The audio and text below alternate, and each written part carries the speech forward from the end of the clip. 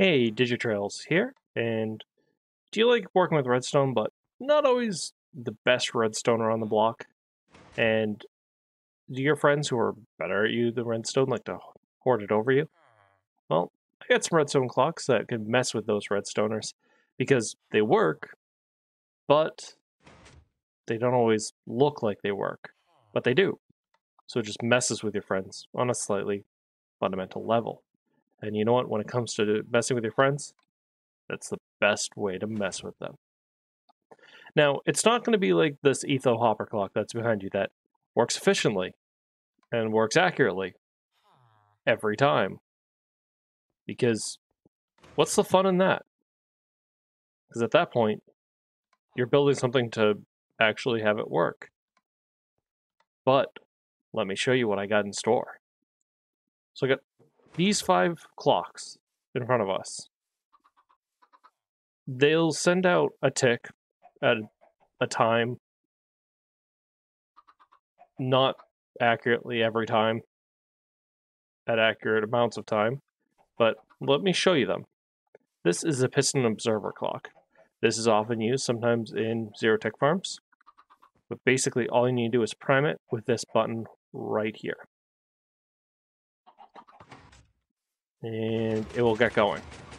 This would be good for droppers and dispensers um, because they are able to react to these types of ticks. Um, but experimentation is great. Uh, right now, I'm basically just turning it off by pressing the uh, by destroying the redstone. But other types of devices may be able to react to this. I wouldn't put anything like a um, light or a um, repeater there because they can't really take a zero tick that much. But as I said, droppers and dispensers are amazing for this. Next, we have the cluck clock. The cluck clock feeds eggs into hoppers that go down into a dispenser. The dispenser feeds out into a comparator. The comparator is read by these two observers that then push out into redstone dust that goes into the target that then pushes out into the dispenser. Build this however you like, but basically feed out into either take a reading off of either the redstone dust or any of these pieces, and you are golden. Um, and it'll push it out whenever the the chickens lay the eggs. The chickens will, if you want more of a signal faster, put in more chickens. Want to go slower, less chickens. It is um, going to be moddable however you feel. It's just powered by more or less chickens. And it is also a food supply, multi-purposeful. On the next one. Next, we have the sundial. The sundial reads off the sun and basically puts out incremental redstone pulses. You have a nighttime sensor and a daylight sensor that both have redstone comparators out of it, that both have redstone dust in front of it. Then you put basically a observer in front of it, repeaters, redstone dust. then you'll then have a regular clock output. And that way, you're pretty much going to be good to go in that regards. Pretty straightforward and pretty cheap. And again, it'll just confuse them. On to a really, really cheap one that requires very little redstone. Introducing what I'm calling the Workday Clock. Villager inside of a little bit of a chamber with a pressure plate and redstone dust in between their bed and the workstation. As they decide to walk between each, ah. it puts out a redstone pulse.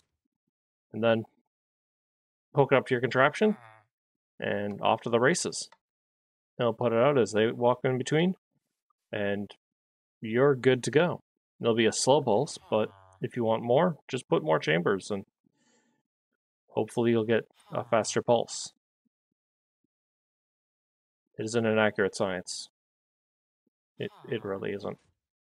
Finally, I'd like to introduce you to the manual clock.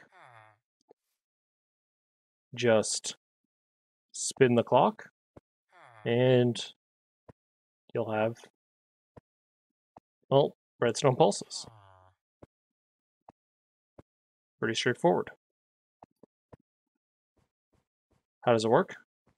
Behind the item frame, you have comparator, put it onto redstone dust, observer, and then some more redstone dust, and I put a repeater there for good measure.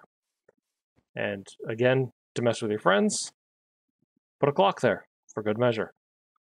And when they go, oh, where's your redstone clock? You, oh, it's right here. This is how I've been working my contraptions. And just sit there and just spin it. They'll just confuse them. It may mess with them. And they just keep spinning. And just keep spinning. I hope this helps you. I hope it annoys a couple of your friends. And remember, if you're going to mess with some of your friends, do it safely, do it wisely, and if you're going to do it, do it on a level that's something like this. Remember, when you're in the digital trails, watch out for digital bears. See everyone.